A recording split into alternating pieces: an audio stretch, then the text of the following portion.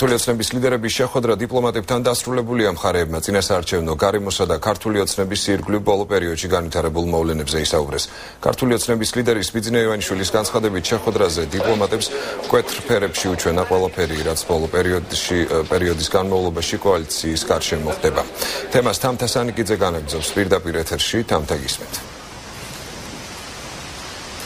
დიახელ დიპლომატებთან შეხვედრა უკვე დასრულებულია საკმაოდ წარმომადგენლობითი დელეგაცია იმყოფებოდა დღეს ქართული ოცნების ცენტრალურ ოფისში. იქ იყვნენ ბიძინა ივანიშვილი და კოალიციის სხვა ლიდერები თავად ქართული ოცნების ლიდერმა ივანიშვილმა მიეწოდა დეტალური ინფორმაცია. დელეგაციის წევრებს იმ ქმედებებთან დაკავშირებით რომლებიც მისივე განმარტებით ხელისუფლებამ ამ შემთხვევაში კოალიციის მიმართ უკანონოდ განახორციელა. გარდა ამისა როგორც ივანიშვილმა უკვე ჟურნალისტებთან საუბრისას ხაზი გაუსვა მან სიტყვით გამოსვლის დროს კითხვაც დაუსვა დიპლომატიური კორპუსის წარმომადგენლებს თუ რატომ არ სვამენ ისინი კითხვებს და არ ახდენენ შესაბამის რეაგირებას იმ ქმედებებთან დაკავშირებით, რომლებიც ქართული ოცნების მისამართით ხორციელდება. მე ვარ სხვა აქცენტებს უკეთებ უცხოელებს და უფრო მკვეთრ ფერებში ვაჩვენებ იმას. რაც ხდება მოსახლეობას არ მინდა რომ ისე დაძაბულად მიმართო, რამდენადაც ჩვენი კოალიცია როგორც მოგეხსენებათ. ძალიან კარგად განვითარდა, ძალიან დიდია დღეს მზაობა ხალხში. ძალიან დიდი ანდობა ძალიან კარგია განწყობა.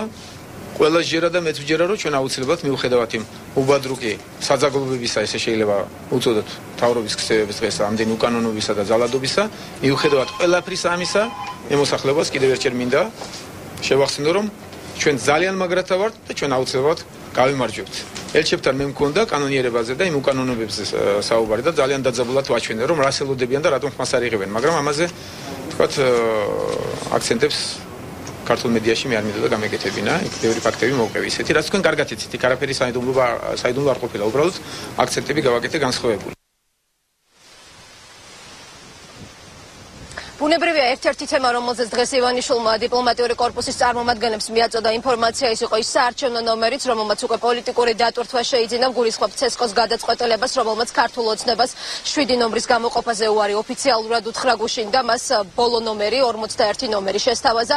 ივანიშვილი აცხადებს, რომ ეს არის აგონიაში მყოფი შეშინებული ხელისუფლების გადაწყვეტილება და მათი რეალური სახე და ბიძინა ივანიშვილმა დღეს ასევე ისაუბრა დეტალურად იმ ფინანსურ ზარალზე, რომელიც ცესკოს ამ გადაწყვეტილებამ კოალიცია აქტიას მიაყენა. უკვე დაბეჭდილი არის მაისურების არჩევნო ატრიბუტიკა, პლაკატები, ბროშურები და ამ ყოლაფრის გადაყრა მოუწევთ ახლა კოალიციის წევრებს. ძალიან უჭირთ. ამით შეაფასეთ მე ძალიან კარგი შეხვედრა მქონდა გუშინ ეუთოს საპარლამენტო ასამბლეასთან, მის გენერალურ მდივანთან. და იქაც, როდესაც გვეკითხებოდნენ, აი საიდან გაქვს ერთ-ერთი შეკითხვა იყო ის, რომ 2-3-ს აიღებთ და უფრო მეც. თქვენ შეხედეთ მათ ქმედებებს, მე უპასუხე. შეხედეთ როგორი შეშინებულნი არიან და როგორ ანგრევენ და არღვევენ კანონებს ირგვლივ და ყველაფერს. თუ გინდეს ნომერიც. იმდენად არიან აგონიაში, იმდენად შოკში არიან. ოღონდაც როგორ მე ამით დაგვაზიანონ და ყველაფერს აკეთებენ. და რა თქმა უნდა სასაცილო იყო. კანონთან ამასაც არავითარი კავშირი არ აქვს. ძალიან ძალიან მარტივია იქ. განმარტივების გაკეთება და ძალიან მარტივად შეგიძლიათ გაერკვეთ, რომ აბსოლუტურად უკანონოდ გააკეთეს. ვერ მიიღებენ შედეგს. თავარი ესაა, რომ მათ არ აქვს სწორი სლები. ერთადერთი სწორი სლა მათი არის, რომ სააკაშვილმა გამოაცხადოს და გადადგეს. აი ეს არის სწორი სლა.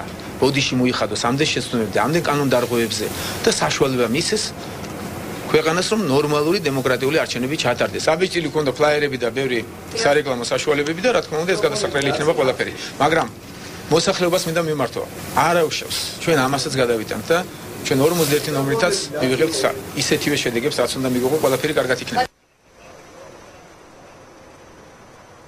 ცესკოს გადაწყვეტილებას ქართული ოცნების წევრები გაასაჩივრებენ დღეს კოალიციის წარმომადგენლები საჩივარ შეიტანენ საარჩევნო ნომერ 7-იანის დაბრუნების თხოვნით საქალაქო სასამართლოში. და კიდევ ერთი თემა რომელსაც დღეს ბიძინა ივანიშვილი შეეხო ეს არის უკვე გუშინდელი დებატების საკითხი რომელიც მან საქართველოს პრეზიდენტ შესთავაზა თუმცა ნაციონალური მოძრაობის პრესპიკერმა მას უპასუხა დავით ბაქრაძის ან ვანო მერაბიშვილის კანდიდატურებით. ივანიშვილი დღეს კიდევ ერთხელ აცხადებს რომ ის შეხვდება როგორც ქართული ოცნების ლიდერი. მისი მოწინააღმდეგე პოლიტიკური ძალის ნაციონალური მოძრაობის მოძრაობის ლიდერს ამ შემთხვევაში მიხელ სააკაშვილს. ან თავრობის შემადგენლობას არანაკლებ 7 და არაუმეტეს 12 კაციანი შემადგენლობით. და კიდევ ერთი ახალი დეტალი ივანიშვილი აცხადებს რომ იმ შემთხვევაში თუ მიხელ სააკაშვილი დათანხმდება მის ამ შეთავაზებას ის მზად არის რომ მას ამ შემთხვევაში არ დაუსვას კონკრეტული შეკითხვები. სააკაშვილის მიერ დაშვებულ შეცდომებთან დაკავშირებით და დებატები მხოლოდ ქვეყნის განვითარებაზე გამართოს. დიდი მადლობა თამთა სანიკიძე საუბრობდა პირდაპირ ეთერში